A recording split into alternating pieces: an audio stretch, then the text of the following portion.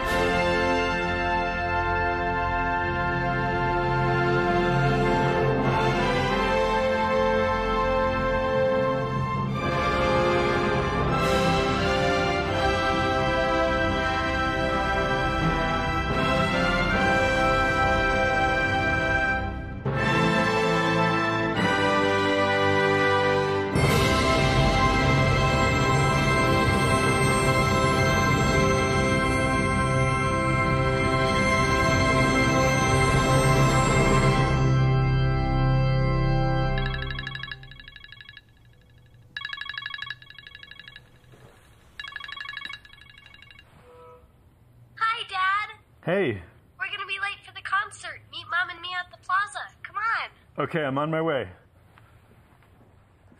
My name is Cris Moore. I'm a mathematician here at the Santa Fe Institute. I love math, but some of my friends tell me that their experience with it was a bit more like this.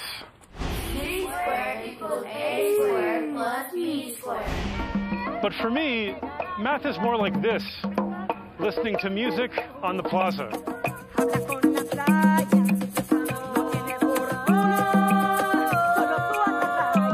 Starts with a vibration.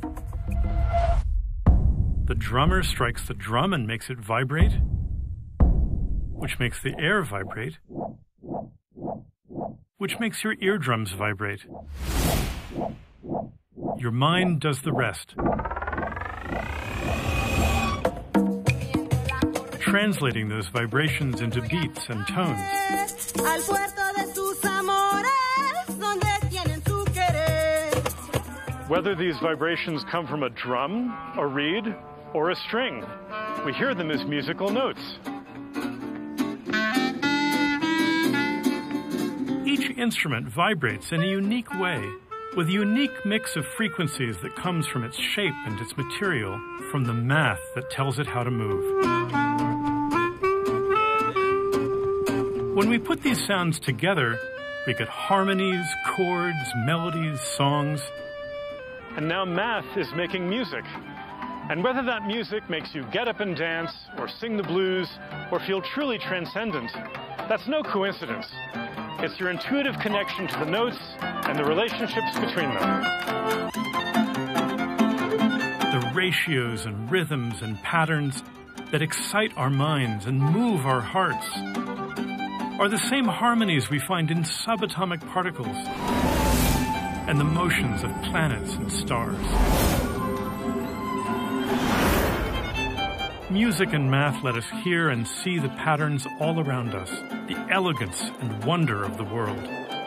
When you come up with a new melody, or I find a new pattern in math, we're using the same parts of our brains, and feeling the same feelings. And I have a feeling it's getting a bit late. My family! Come on! Gotta go! We're headed to Santa Fe's historic Lensic Theater. The seats are filled with music lovers. And after tonight's special performance by the Santa Fe Symphony Orchestra, I hope math lovers as well. Join me on a journey to discover the majesty of music and math.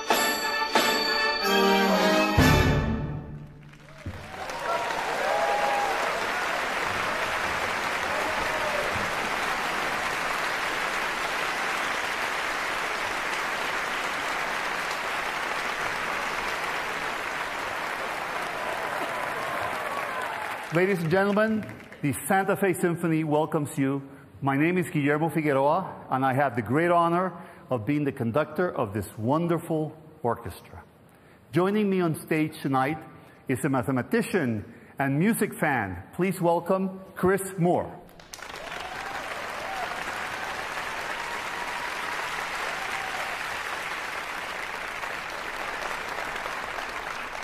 You may think of music and math as separate, but it hasn't always been this way. In ancient Greece, music was combined with arithmetic, geometry, and astronomy in a liberal arts package later called the quadrivium, the fourfold way. Plato believed that these four disciplines allowed us to study numbers and patterns in different ways. Just as geometry lets us see patterns in space, music lets us hear patterns in time. The most basic connection between music and math is rhythm. If we start with a steady beat and add another twice as fast, and another twice as fast as that, we get four beats per measure. On the other hand, three beats per measure gives us the familiar rhythm of a waltz.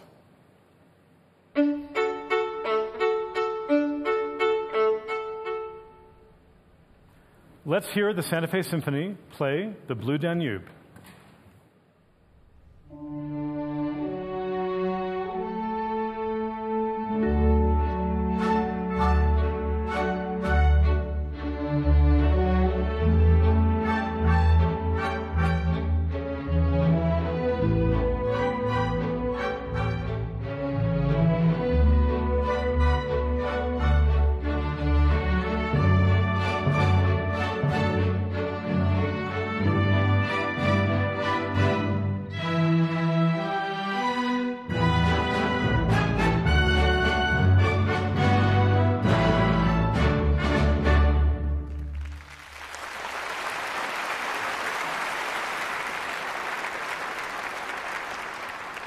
Composers alternate these rhythms to create interesting combinations. Listen to the Santa Fe Symphony as we play a selection from Leonard Bernstein's West Side Story, where he alternates two beats and three beats in his classic celebration of immigrant life in America. Notice how your ear picks up the alternate rhythms. One ta ta, two ta ta, one, two, three.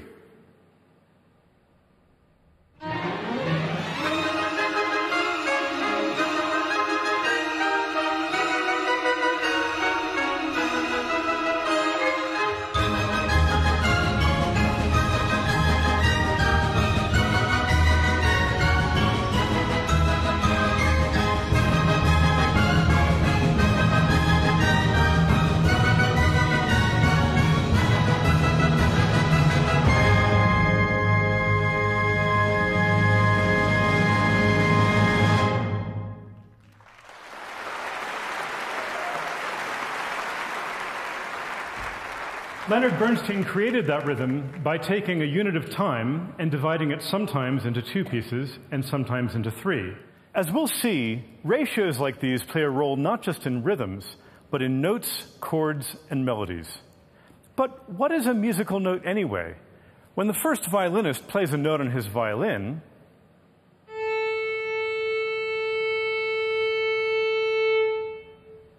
what's happening in his violin and what's happening in our ears? Well, sound is vibration. Every time a string wiggles or a hummingbird flaps its wings, a wave of pressure travels through the air. And if these vibrations are fast enough, we hear this series of waves as a continuous tone instead of as individual beats. The number of vibrations per second is called the frequency, and different notes have different frequencies. For instance, a middle C, which we'll now hear from the symphony's first trumpet, vibrates 261 times per second. On the other hand, that low note from the contrabassoon that you heard at the very beginning of Also Sprach Zarathustra vibrates only 33 times per second.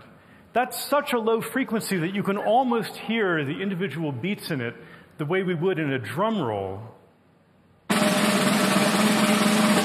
or a cat's purr.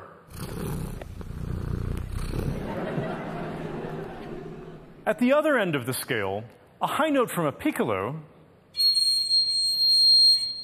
is vibrating more than 4,000 times per second. Now, it turns out that each time you go up an octave, for instance, from low C to middle C to high C, this corresponds to doubling the frequency, vibrating twice as fast. That high note from the piccolo is seven octaves above that low note from the contrabassoon, which means it's vibrating two times two times two times two times two times two times two, or 128 times faster. In ancient Greece, Pythagoras discovered the math behind these notes by doing experiments on simple instruments.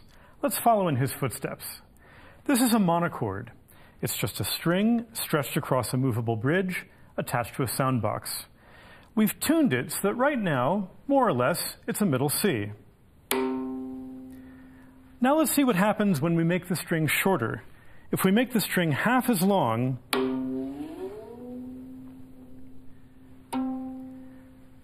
we hear the same note an octave higher, another C. What's going on? Well, if the string is half as long, the vibrations have half as far to go up and down it, so the string vibrates twice as fast.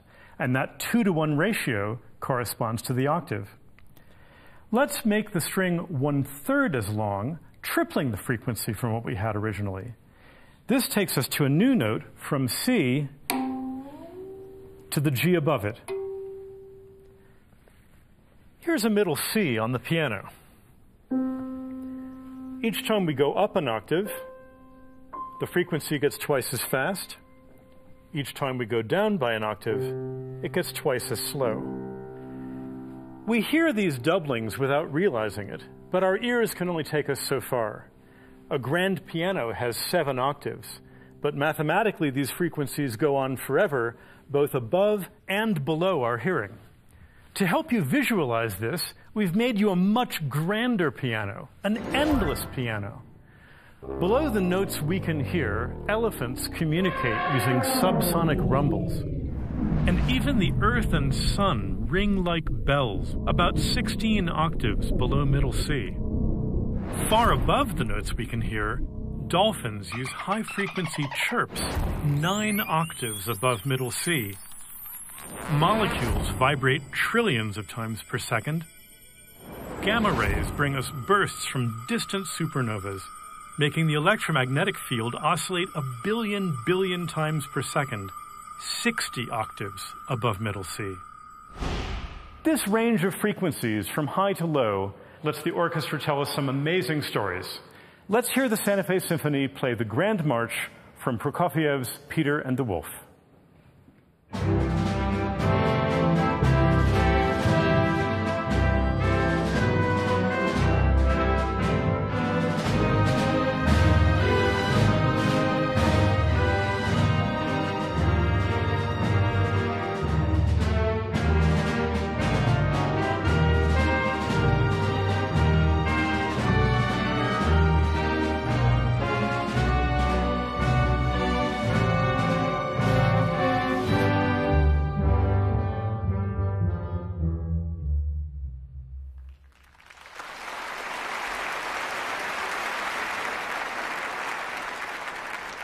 When one object vibrates, it can resonate or cause sympathetic vibrations in another.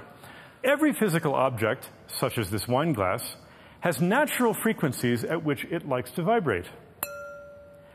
If you provide a vibration which is powerful enough at just the right frequency, you can create some exciting effects. Famously, If an opera singer sings loud enough at just the right tone, she can cause a wine glass to vibrate so much that it breaks.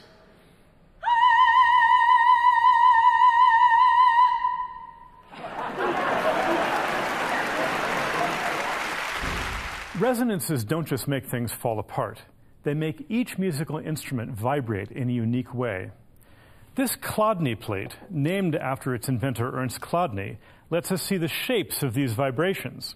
It has a speaker underneath which makes it vibrate and lets us control the frequency.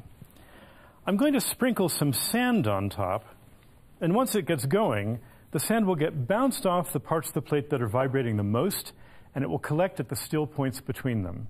The shapes and patterns the sand makes will show us how the plate is responding or resonating to different frequencies. Let's start with a low frequency. Do you remember the monochord, the single stringed instrument from before? The lowest frequency consists of the entire string going up or down together. But at higher frequencies, one part of the string is wiggling up at the same moment another is wiggling down. The same thing is happening here and the sand is just collecting at the point in between them. Let's see what we can do at an even higher frequency. And as the frequency gets this high, the shapes of the vibrations get very complicated. It does look like a raccoon in a kaleidoscope, doesn't it? This violin shaped plate will give us a taste of how the soundboard of a violin responds to different musical notes. Of course, real violins are much more complicated. When you hear a violin being played, you should imagine the body of the violin vibrating with these beautiful, intricate patterns, responding to different notes. It's an amazing degree of complexity. It also shows you how a high note on a violin isn't just a low note played faster. The violin responds in completely different ways to different tones. This is partly why the sound of the violin is so rich and so complex and sounds so wonderful in our ears. In fact, even a single note on a violin has many different frequencies inside it. Not just the basic or fundamental one we hear.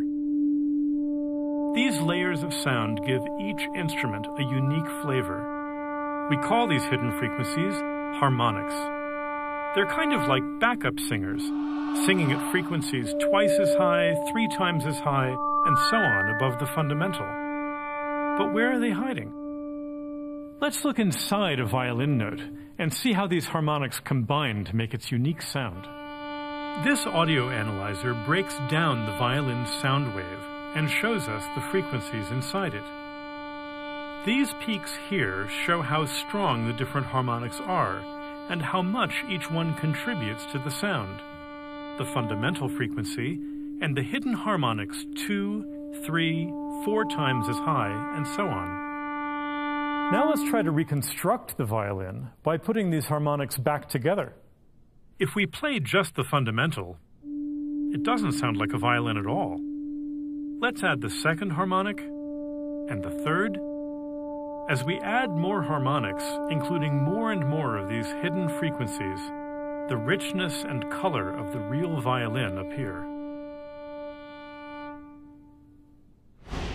Let's hear how the same note sounds on different instruments, each with its own unique mix of harmonics. Here's a middle C on the oboe. The trombone,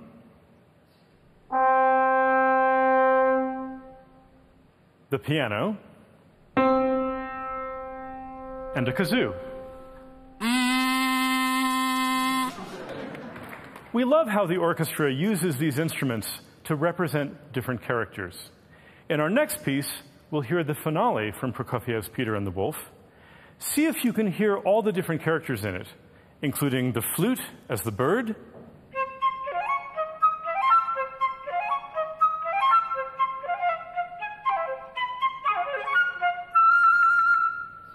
the oboe as the duck,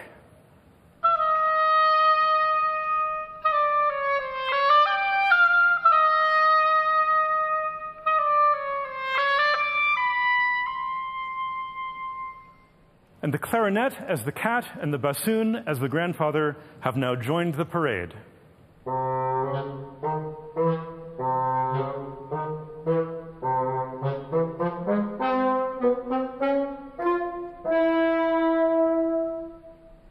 The Santa Fe Symphony playing the finale from Prokofiev's Peter and the Wolf.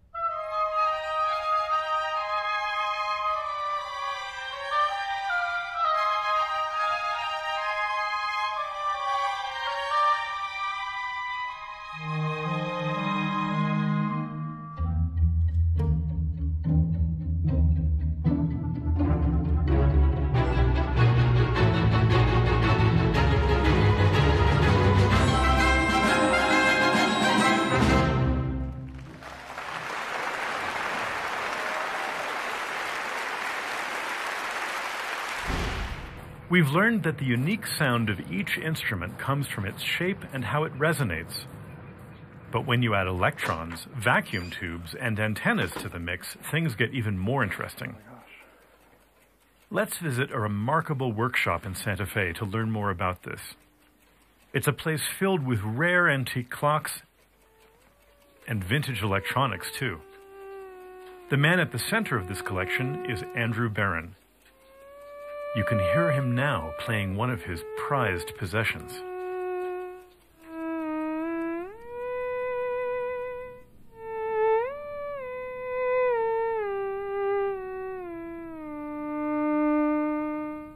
Hey, Andrew, Chris, it's good to see you. thanks so much for showing me your workshop. It's my pleasure. This is fantastic. This is an original theremin. It is. It's one of the 120 or so that survived from the original 1929 production by RCA. So one of these antennas controls the frequency and the other controls the loudness. Exactly right, yes. When you bring your hand close to this antenna, the note goes higher. And if you want to make it louder, you can bring your left hand up over this loop on the left side of the cabinet. So this is an electronic instrument. You might think it would make a boring, simple beep, but the uh-huh. sound is so much richer than that. Leon Theremin wanted something that was harmonically rich, that would emulate the sound of orchestra instruments. And he did it by having two frequency generators in the instrument. We call them oscillators. Theremin connected one of those oscillators to this antenna that controls the pitch. And so when you bring your hand near it, it shifts the frequency of that one oscillator and it tugs on the other and it actually pulls that pure symmetrical wave into a different shape. It creates a more complex Yes. sound wave. Exactly right. Can I try it out? Sure. I, I- Okay, I I'm promise gonna- I won't break. It. That's all right. Come over here and let me lead this for the moment, okay?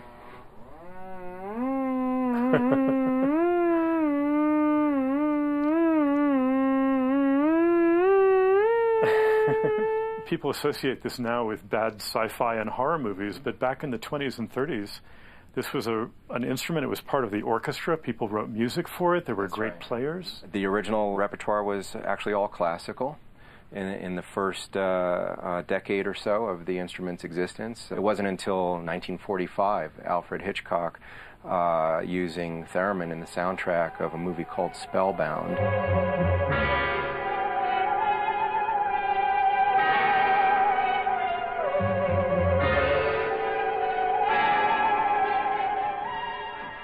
And who were the great players, the famous virtuosi of, of the theremin back in the day? the uh, really superstar of her day was Clara Rockmore, and uh, she performed with uh, the Philadelphia Orchestra. Let's relive the glory days of the theremin and listen to Clara Rockmore.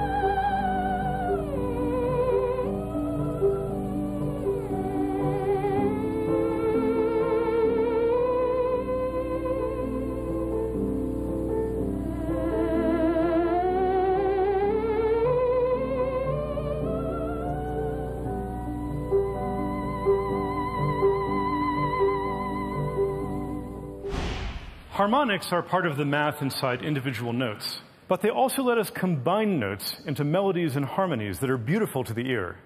Remember how going up an octave corresponded to doubling the frequency, a ratio of two to one, about as simple as a ratio could be. It turns out that many of the most beautiful chords and harmonies come from ratios that are almost as simple. For instance, if you take middle C and play the G right above that, we get a ratio of three to two what we musicians call a fifth, and it sounds like this.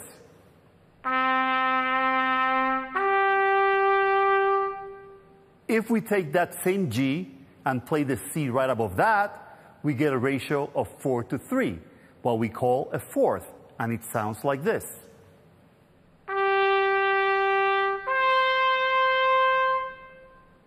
A ratio of 5 to 4 gives us the ingredients of major chords, such as C major, which is made up of C, E, and G. And we'll add another C in the middle just for fun. So we get a C major chord. And a ratio of 6 to 5 gives us a minor chord, as in C minor. Now, in case you've recognized all these little excerpts we just played, it's because that's the iconic beginning of Also sprach Zarathustra of Richard Strauss, with which this program opened. Let's hear it again.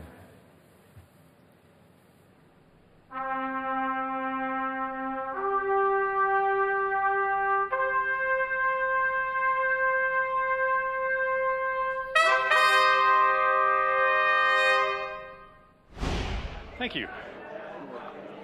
These ratios have been resonating with us long before Richard Strauss used them in his compositions. And to help us understand this ancient connection between music and math, my friend Penelope Penland has organized this party at the Hotel Santa Fe. Hey, Penelope, nice to see you. How are you? Everybody, your attention, please. Thank you very much for being here tonight.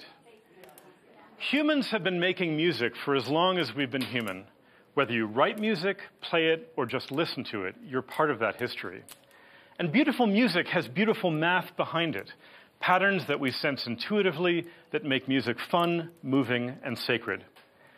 Hildegard von Bingen is one of the earliest composers whose name has come down to us, and one of the earliest we know of who wrote complex melodies. Here is the University of New Mexico's Hildegard Scholar performing one of her pieces.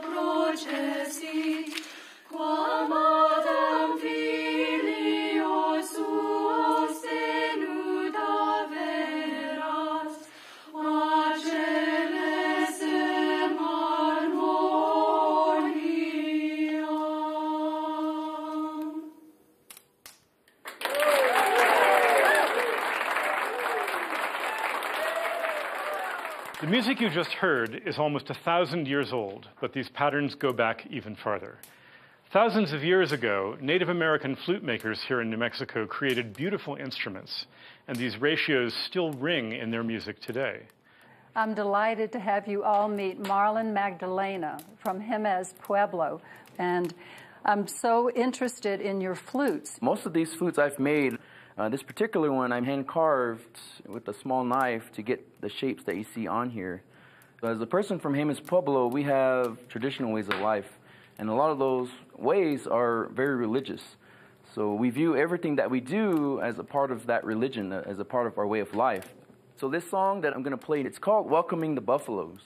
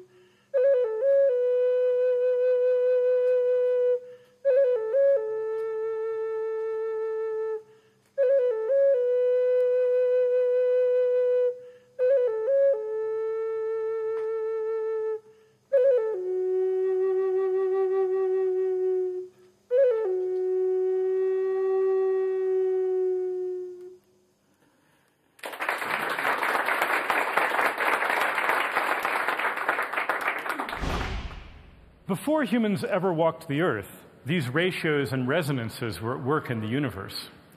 Ganymede, Europa, and Io, three of the moons of Jupiter that Galileo saw through his telescope, which you can see too through a backyard telescope or even a decent pair of binoculars, are in a 1 to 2 to 4 resonance.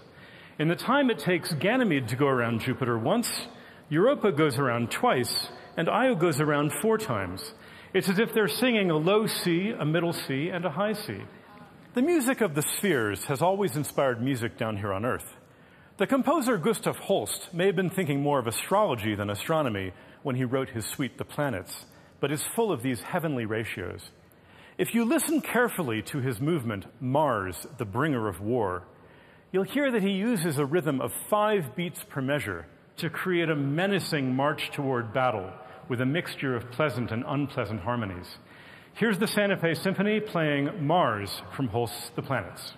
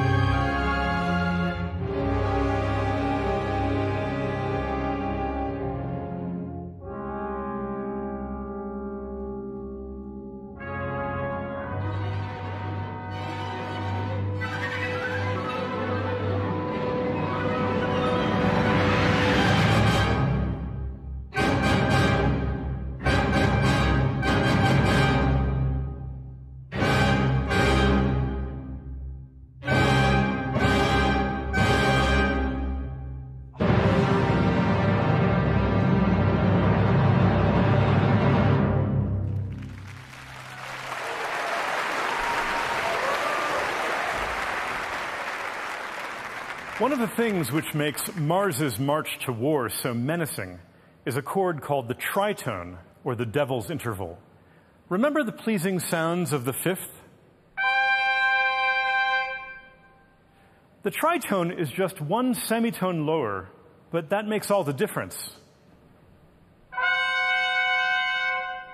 Sounds strange, doesn't it? Dissonant and unsettling. See if you can hear it in Richard Wagner's classic chord from Tristan and Isolde, where he uses it to convey the tragedy of those two lovers.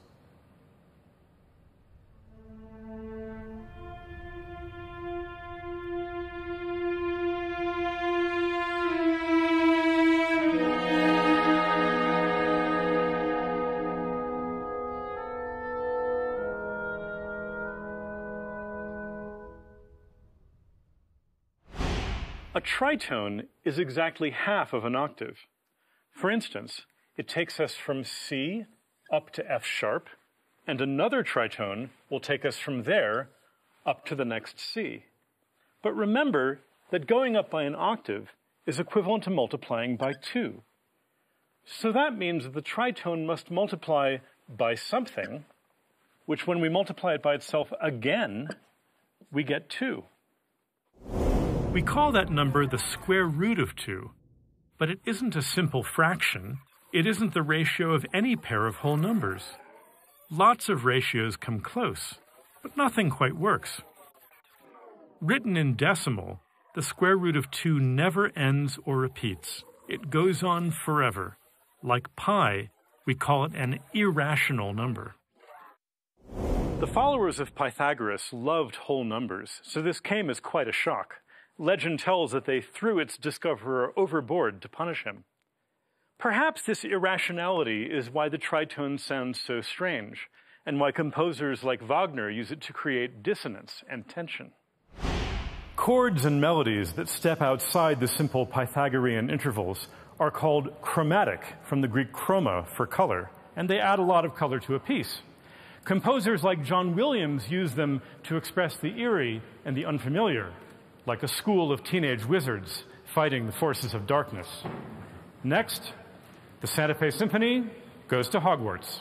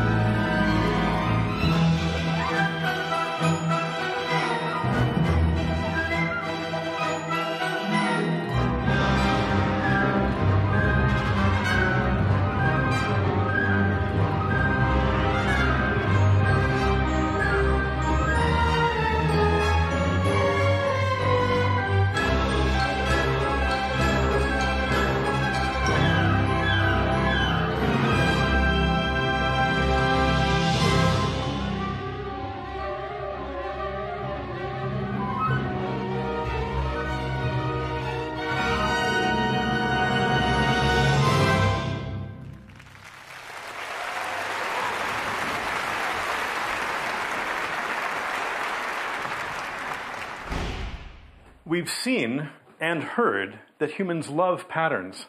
We're tuned to enjoy them without even realizing it. We like making patterns where there were none before, and we like finding them when they were hidden. That's why we like puzzles so much. And at our house, puzzles are a big deal. Hey guys, Hi. Hey. what did you just build there? This is a soccer ball. In both mathematics and music, a classic kind of pattern comes from symmetry. Dun dun dun dun. Yes. Good job, Mom. We look about the same if you flip our image in a mirror. Some of our more distant relatives look the same if you rotate them. These intricate Moorish mosaics from the Alhambra in Spain look the same if we shift them over or rotate them. I did it. Beautiful. Very nice. Another kind of symmetry, both in mathematics and the natural world, is a fractal. A fractal is something which, when you zoom in on it, it looks the same, because each part is a smaller copy of the whole. Hey, Dad, we have a fractal in the fridge. A fractal in the fridge? Yeah. A fractal in the fridge? We got it the other day while we were at the farmer's market. Nice. It's a broccoli. Yeah. But what makes it a fractal? See how there's one big cone? Uh huh. This cone is made up of lots of little cones, which are made up of lots of little cones, which are made of lots of little cones, which just keeps getting smaller and smaller. Can we eat it later? Yeah. The most famous fractal is the Mandelbrot set. Zooming in on different areas reveals endless variety, but always with a smaller copy of the entire set hiding deep inside it. A musical fractal would be a piece where the theme harmonizes with a slowed down version of itself. That way, the small scale structure of the piece is echoed on a larger, grander scale. Johann Sebastian Bach loved to play with symmetry.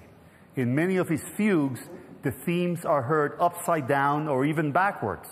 He also liked to play with fractal symmetry, where the themes are given in different scales or sped up or slowed down. We're going to play a fugue by Bach, and you'll hear first the theme in the French horn.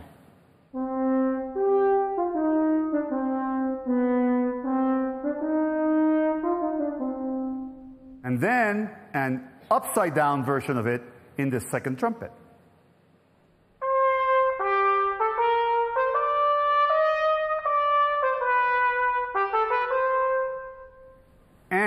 A slowed down version of it in the first trumpet.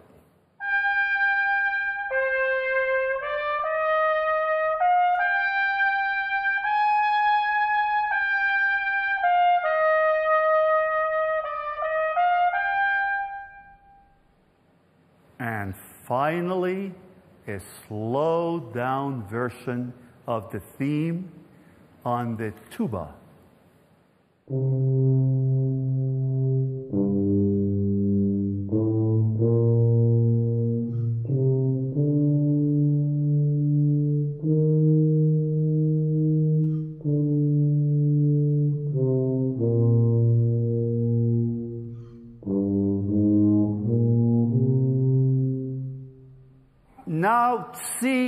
You can hear all of these themes as members of the brass section of the Santa Fe Symphony put it all together when they play Contrapunctus number seven from the Art of the Fugue by Johann Sebastian Bach.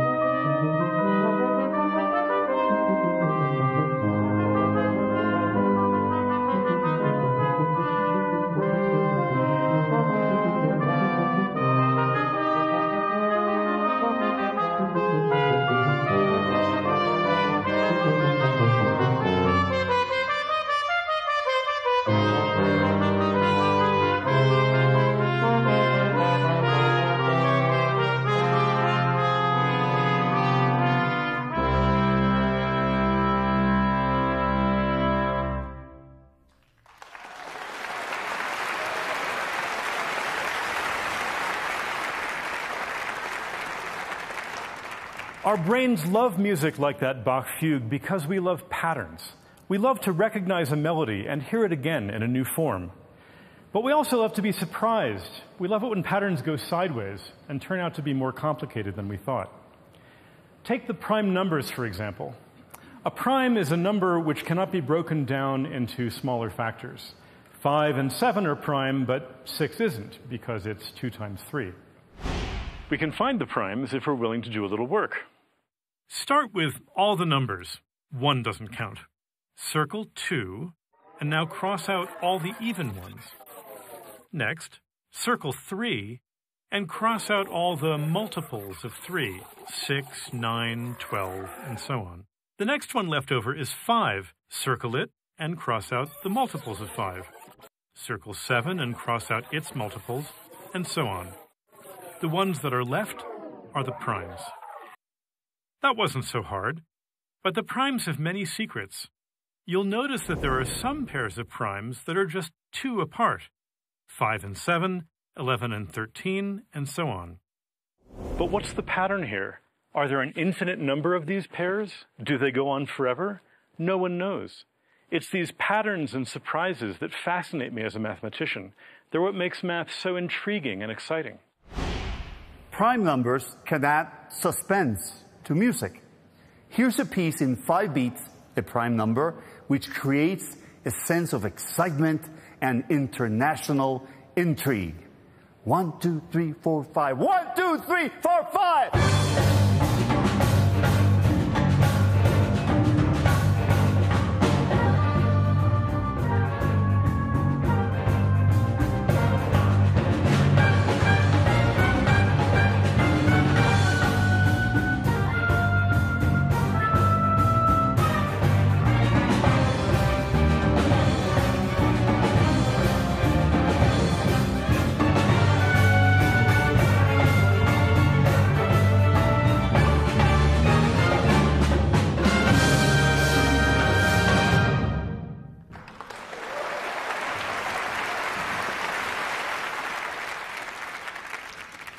We've heard the math inside notes and instruments. The ratios that make up rhythms, chords, and harmonies. And the symmetries and surprises that make music so fascinating. From ancient times to today. Music and math both reveal something fundamental about our world a tension between simplicity and complexity, between order and chaos. They speak to our brains and our hearts in endlessly surprising ways. And they're both very much a part of what makes us human. In our finale tonight, the composer John Adams starts out with a simple rhythm on the woodblock, but he quickly overlays this with more and more complex rhythms, making it harder and harder for us to hold on to it all. If you can feel this joyful confusion, this sense that a pattern is always just a little too complicated to grasp, so that you're always just on the brink of understanding it, you'll know what it's like to explore the frontiers of mathematics.